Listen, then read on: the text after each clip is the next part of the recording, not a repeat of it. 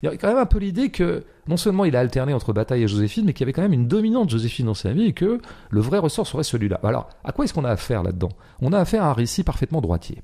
Parce que ça, c'est un petit peu ce que nos amis historiens de droite, il y a des très bons historiens de droite, mais disons, historiens du dimanche de droite, euh, nous présentent toujours comme ce qu'ils appelleraient eux-mêmes le roman national. C'est-à-dire, il faut raconter l'histoire de façon romanesque. Et c'est ça qui est beau, et c'est ça qui intéressera nos jeunes enfants à l'histoire. Et, il faut, dans le roman national, il y a aussi l'idée qu'il faut glorifier notre roman national, hein, à titre de, pour former des petits patriotes. Mais il y a aussi cette idée que, oh, faut, faut pas raconter l'histoire à la brodelle, quoi. C'est pas des histoires de grands mouvements économiques.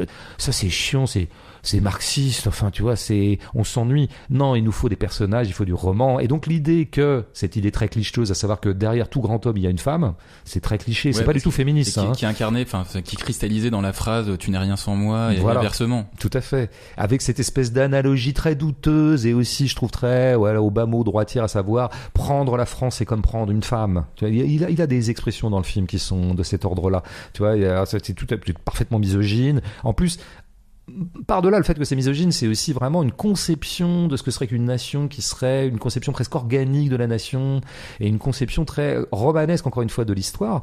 Alors, non seulement tout ça, c'est tout à fait, bon, je pense que ça correspond assez peu à la réalité, mais en plus, c'est une construction. C'est-à-dire qu'encore une fois, c'est pas mal d'égrener les erreurs euh, factuelles ou les déformations de Ridley Scott du film euh, par rapport à ce qu'on sait de Napoléon autre chose et de voir ce qu'il affirme. Et ce qu'il affirme à ce moment-là, c'est un peu ce que je viens de dire, une histoire romanesque, mais aussi c'est une histoire euh, qui fait droit aux individus. C'est-à-dire en gros qui va euh, complètement occulter euh, les grandes tendances, les, les, grands rapports de force, les structures, pour relâcher le mot qui tue, au profit des individus. Alors tout à l'heure j'ai dit que Ridley Scott se désintéressait de l'individu Napoléon, mais je ne suis pas contradictoire parce qu'en fait c'est pas tant les individus qui l'intéressent, c'est les grands individus c'est les grands hommes. C'est ceux qui se hissent justement au-dessus de la petite échelle individuelle qui, elle, pour le coup, est complètement inintéressante, parce que c'est le tout venant, c'est les pauvres gens, quoi. on les voit euh, d'ailleurs à un moment donné, les pauvres gens, oui, je vais derrière des grilles. Ce qu'il veut, c'est des grands hommes. D'accord, moi, je, je, me suis amusé à aller voir sa filmo là sur Wikipédia parce que je voulais me rappeler. J'ai à peu près tout vu d'ailleurs presque sans le faire exprès, de Ridley Scott, parce qu'en fait, je suis son contemporain. Sauf le dernier duel. Sauf le dernier duel, mais j'ai, au bout du compte, ouais, ouais, comme il est, on est contemporain un peu, donc j'ai fini par aller voir un peu tout.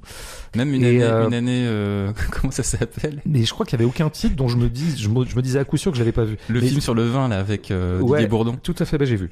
Mais ouais, ouais. Il y a eu des zones d'ombre dans la carrière de Ridley Scott.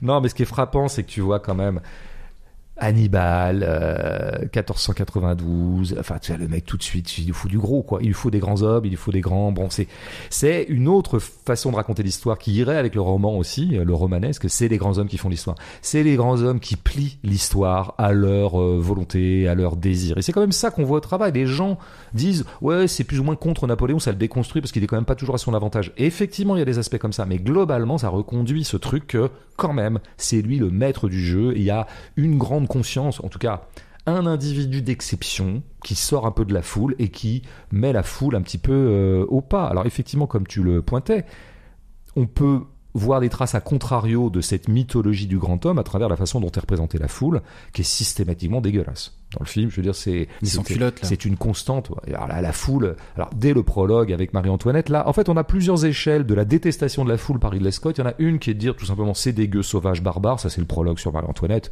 Bon, globalement, c'est quand même des gens qui sont assoiffés de sang, euh, qui viennent se repaître d'une décapitation. C'est pas la peine d'épiloguer sur ce prologue qui dit très bien ce qu'il veut dire, quoi. Bon, euh, alors après, il y a autre chose il y a tout simplement, je dirais, la néantification du peuple, ce qui est encore autre chose. Parce qu'il y, a une première phrase qui est troublante quand même bien, un écriteau qui commence le film et qui situe un peu les choses grossièrement, euh, période révolutionnaire, tout ça, et qui dit euh, La pénurie avait entraîné la révolution et la révolution créa la pénurie. C'est presque une phrase comme ça. Mmh, mmh, mmh. Et la structure en, cercle de la phrase dit tout de l'opinion que peut avoir Ridley Scott ou son scénariste ou les deux euh, sur ce qu'aura été finalement 10 ans, les 10 ans de la Révolution, 89-99 en gros, c'est Napoléon qui interrompt la Révolution. Et ces dix ans, c'est quoi? C'est l'effraction de la variable populaire dans le jeu historique. C'est aussi une révolution bourgeoise, mmh. c'est plein de choses. C'est pas que le petit peuple de Paris, mais ça a été aussi beaucoup ça la révolution. On peut pas minimiser qu'elle a été vraiment. C'était quand même une espèce de poussée plébéienne. Notamment le peuple de Paris. Notamment le peuple de Paris. Euh, bon, ben ça, finalement, en te disant qu'au départ il y avait la pénurie, après il, y a, la pénurie, en fait, la révolution a eu lieu, elle n'a rien produit. Donc quand le peuple se mêle au jeu, c'est comme si il s'était rien passé. Vraiment, je pense que ça, il faut le, le voir. Et à la troisième chose, dans le même esprit, disons, de vision dégradée euh, du peuple, c'est de dire aussi que le peuple est effectivement un agent historique nul et neutre. Et donc il est particulièrement le jouet de, il est manipulé par, on en fait ce qu'on en veut. Et c'est quand même ce qui apparaît. Et donc on a le grand homme qui, à deux reprises, retourne une foule.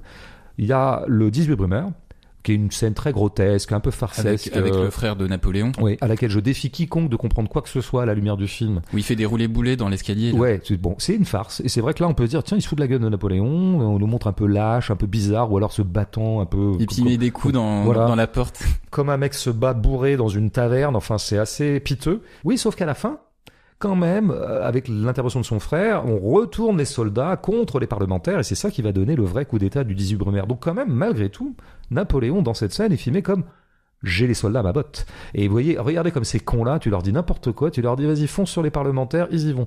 Et c'est exactement ce qui se passe au retour de l'île d'Elbe aussi, où il revient, et il y a l'armée qui... Avec le 5 régiment.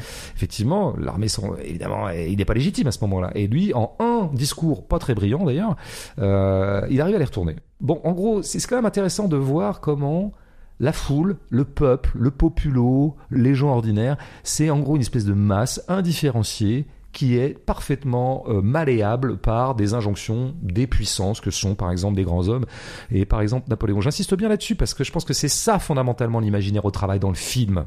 C'est pas rien. C'est pas oh Ridley Scott finalement il a fait un truc bon ça n'a pas beaucoup de sens on sait pas ce qu'il veut faire. Moi je vois ce qu'il veut faire et il veut faire ça. Il veut construire un récit historique ou une comment dire une épistémologie historique qui est celle-là.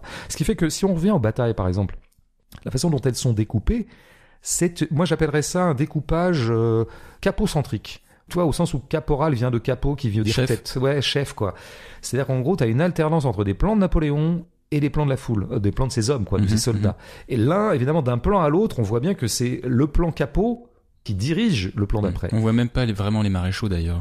Très peu, très très peu. C'est vraiment un grand homme et effectivement la foule sans les corps intermédiaires, comme on pourrait dire. Mais effectivement, dans l'imaginaire qu'on appelle césarien ou césariste, qu'on va appeler plus tard bonapartiste d'ailleurs, il y a précisément une évacuation des corps intermédiaires. Il y a toujours la foule qui est vraiment à la demande de cet homme qui, d'un geste, arrive à les contrôler. Même au moment de Waterloo.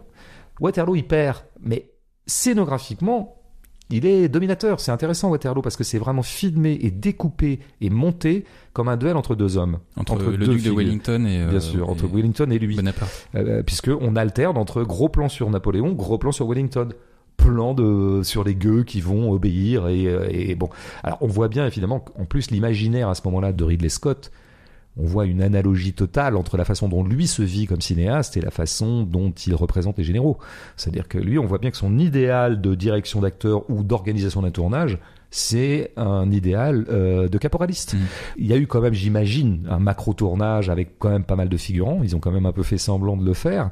Eh bien, notre ami Ridley Scott était en posture de général et de Napoléon. Ouais, mais c'est d'ailleurs aussi euh, ce qui est résumé dans une scène. Tu sais, la scène où tu as euh, Napoléon qui est dans le bateau, qui doit l'emmener en fait à Sainte-Hélène. Il discute avec les aspirants de la marine. Ouais.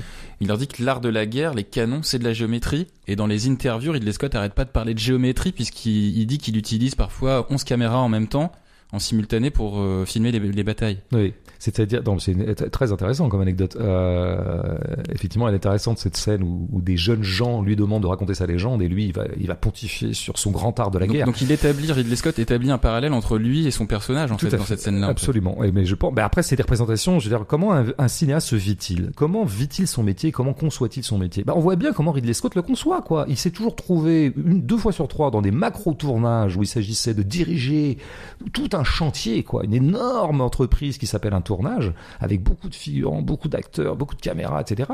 Et on voit bien où est-ce qu'il met sa jouissance, comme dirait l'autre, eh ben, il met sa jouissance dans le fait de diriger tout ça, quoi. Et que d'un geste, il peut euh, faire euh, accourir les 300 figurants de la gauche pour aller vers l'aile droite ou que sais-je. Donc c'est parfaitement analogique effectivement de la position du général. Donc quoi qu'on on aille débusquer comme euh, sentiment corps Scott par rapport au personnage de Napoléon, ils sont de toute façon cul et chemise Ils sont engagés dans la même force. Il y a une collusion entre la posture du général et la posture du cinéaste tel que Ridley Scott se voit. C'est toujours ça qu'il faut voir. C'est qu'est-ce qui se joue esthétiquement dans un film, indépendamment de ce que Ridley Scott a à nous dire ou pas à nous dire sur Napoléon.